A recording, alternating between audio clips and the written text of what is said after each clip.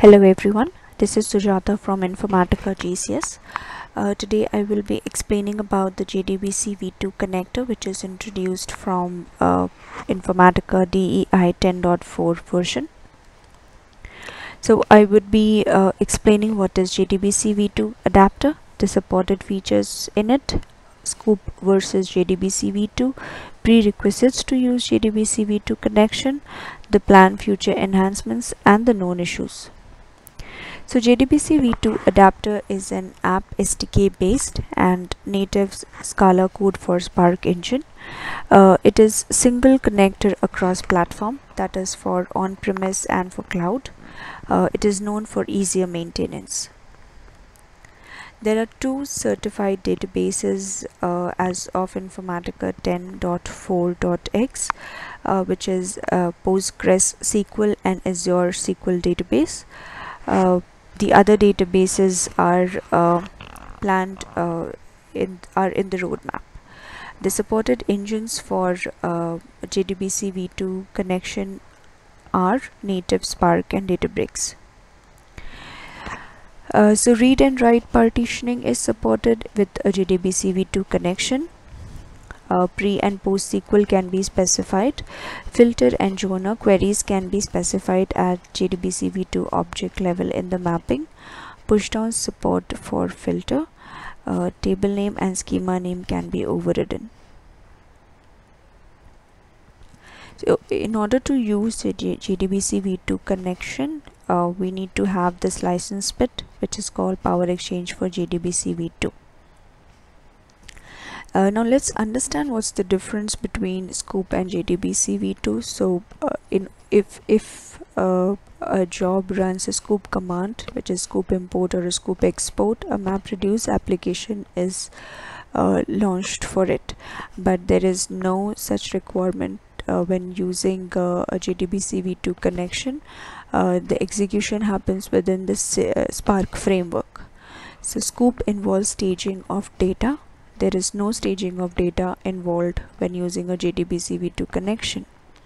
So uh, transformations are usually faster in Spark mode when compared to a MapReduce. So both these factors makes a JDBC v2 connection faster compared to a Sqoop connection. So except in cases of optimized Sqoop cases, JDBC v2 is usually 40% faster compared to Sqoop only in cases of optimized Sqoop JDBC v2 is slower than uh, Sqoop by around 7 to 10 percent. Now from Informatica perspective uh, the prerequisites to use a JDBC v2 connector uh, is as below. So you would have to download a JDBC type 4 compliant database driver and uh, it has to be placed on the server machine so if a JDBC v2 connection is used in a Spark mode then the jar the JDBC driver has to be placed at InfaHome connectors third party Informatica JDBC v2 slash Spark.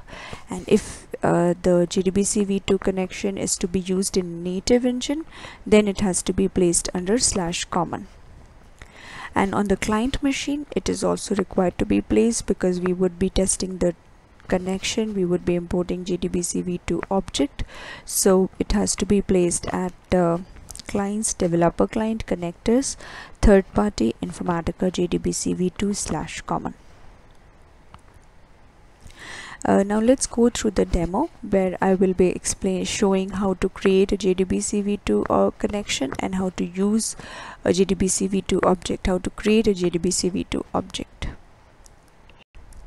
so here is my developer tool. I go to window preferences and uh, then in the connections now I will be seeing a different uh, a, a, separate type of connection which is called JDBC v2 that will be under databases. So you see here this is JDBC v2 so uh, in order to create a new connection I will say add. I already have created a connection for Postgres.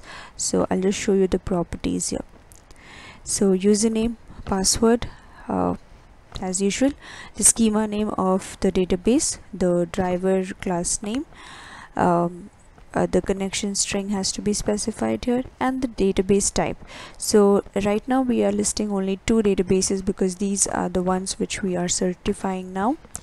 If at all the user is using any other database like Oracle or SQL Server uh, we would have to select others in that case so once this is done you can test the connection.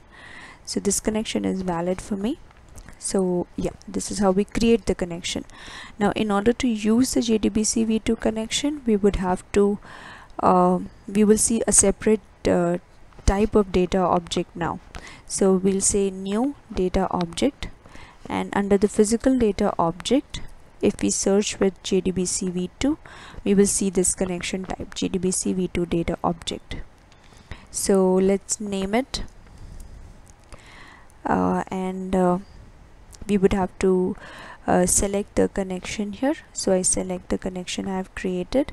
And then I would have to add the resource. The resource is the table that I would want to add in my uh, JDBC v2 connection. Data object so uh, yeah it, this shows my connection and then it shows the schema here and then it lists the tables. So you would have to click on the tables to see the list of tables here. So uh, I select the table here and uh, then I say finish. So this creates my object now I would have to create a read and a write object for it. This is similar to any other application data object that we create.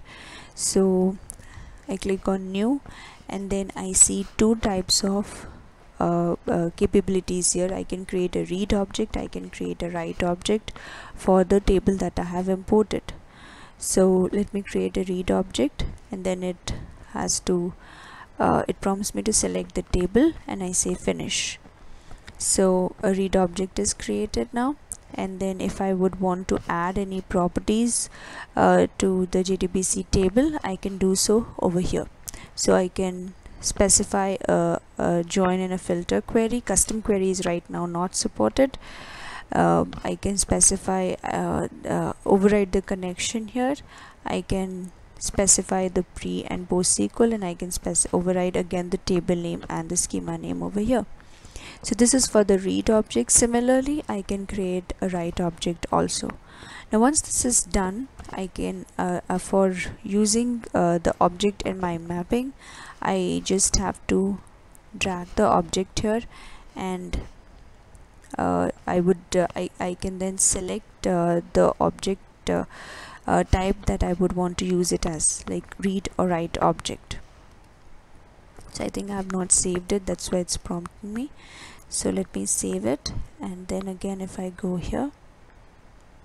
So this is my read object that I've created already. Write I have not created so it does not show me any operation but I can create one from here the write object. Okay.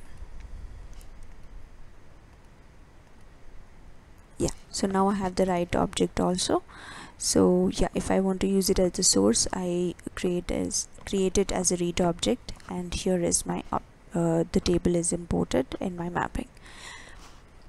So this is how we create a, a mapping with uh, JDBC v2 object.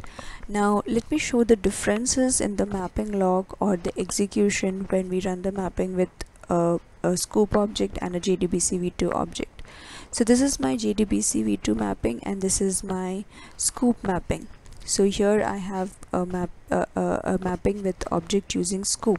So it's important to understand the difference between uh, the execution for which uh, let me show a few snippets from the map uh, mapping log so uh, this is the mapping log for non JDBC v2 which is uh, uh, using a Sqoop connection. So yeah so here I have a Sqoop uh, import command and uh, uh, a, a MapReduce application is created for the same.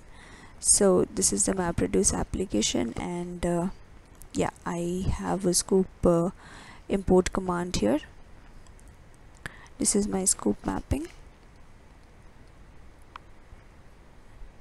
and the Sqoop queries are uh, are executed here for which uh, I had showed uh, um, the MapReduce application getting created. Yeah so these are the snippets from my Sqoop uh, for my Sqoop command. Now uh, going to the mapping log for JDBC v2 there is no such separate command executed here in the mapping. So it simply go uh, compiles the mapping uh, creates the execution plan and submits that to the spark engine. So here I only have one application ID which is for my spark application. Yeah so that's all. So now let me go to the spark application and show here the JDBC v2 connection established and the execution has happened. So so uh, here is the JDBC query that that I see uh, within the Spark application itself. So uh, this is the uh, read query that is fired against the read object uh, I mean the source table and uh, the metadata is fetched and also it is read. So this is just the part of my Spark application. Yeah so but there is no separate application MapReduce application created for the JDBC v2 connection.